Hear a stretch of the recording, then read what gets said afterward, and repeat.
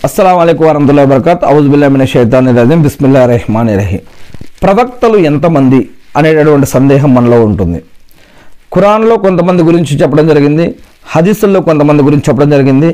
మరియు అంతకుముందు ఖురాన్ కంటే ముందు ఉన్నటువంటి గ్రంథాలలో మరియమ్మ కుమారుడైనటువంటి ఈసా అలస్లం గారి ద్వారా వచ్చినటువంటి ఇంజిల్ గ్రంథంలో కానీ అంతకుముందు గ్రంథం ఆ, దావూద్ అలస్లం గారిపై వచ్చినటువంటి జబ్బూరు గ్రంథంలో కానీ అంతకుముందు మూసా అలస్లం గారిపై వచ్చినటువంటి మోషే ధర్మశాస్త్రమైనటువంటి తవరాత గ్రంథం ద్వారా కానీ అంతకుముందు వచ్చినటువంటి అబ్రహాం లేఖనాలు కానీ అంతకుముందు వచ్చినటువంటి అనేక గ్రంథాల ఆధారంగా కానీ మరి చూసినట్లయితే ఒక లక్ష ఇరవై నాలుగు వేల మందికి పైగా అని కొంతమంది ఒక లక్ష ఎనభై వేల మందికి పైగా అని కొంతమంది తెలియజేస్తూ ఉన్నారు.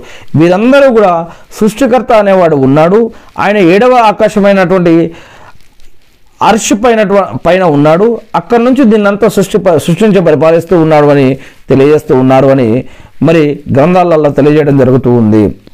అల్లా అనేక కాలాలలో అనేక చరిత్రలలో అనేక ప్రాంతాలలో అనేక యుగాలలో అనేక భాషలలో అనేక మందిని ప్రవక్తలుగా చాలామందిని ఎన్నుకోవటం జరిగింది అని. ఆ యొక్క పరంపరలోనే చివరి ప్రవక్త ముహమ్మద్ సల్లాహస్లం గారు అని కురాన్లో తెలియజేయడం జరిగింది. మరి ఈ యొక్క ప్రవక్తలు ఏం చేశారు అంటే జీవన పద్ధతులు ఆరాధన పద్ధతులు హరాం ఏది హలాల్ ఏది మంచి ఏది చెడు ఏది పాపం ఏది పుణ్యం ఏది ప్రళయ దినం ఎప్పుడు వస్తుంది స్వర్గం ఎలా ఉంటుంది నరకం ఎలా ఉంటుంది వాటిల్లోకి ఎవరు వెళ్తారు ఎలా వెళ్తారు అవి ఎలా ఉంటాయి?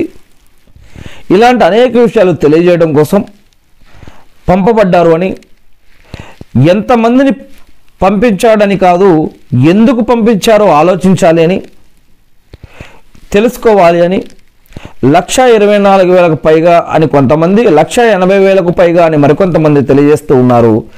ఏది ఏది ఏమైతేనేమి ఖురాన్లో రెండవ అధ్యాయం రెండు వందల ఎనభై ఐదో వాక్యం దృష్టిలో పెట్టుకొని ఎంతమంది ప్రవక్తలు ఉన్నా కూడా వారి మధ్య మనం ఎటువంటి భేదాభిప్రాయం చూపకూడదు అని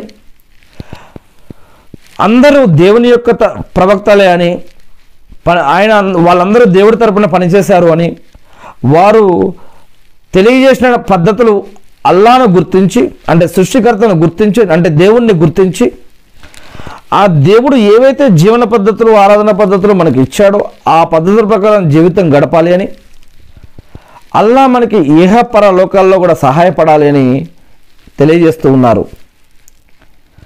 నేను ఆ సృష్టికర్త అల్లాను ప్రార్థిస్తూ ఉన్నాను. అల్లా మీరు చివరి ప్రవక్త అయినటువంటి మొహమ్మద్ సస్లం గారి ద్వారా మాకు ఏదైతే ఖురాన్ మరియు హదీసులు ఇచ్చారో వాటిని మేము తెలుసుకుని నేర్చుకుని అర్థం చేసుకుని గుర్తుపెట్టుకొని వాటి ప్రకారం మేము జీవిస్తూ మిమ్మల్ని ఆరాధిస్తూ తెలియని ఇతర మా సోదరి సోదరులు కూడా తెలిపే భాగ్యాన్ని మాకు ప్రసాదించడం వల్ల. ఆమెన్.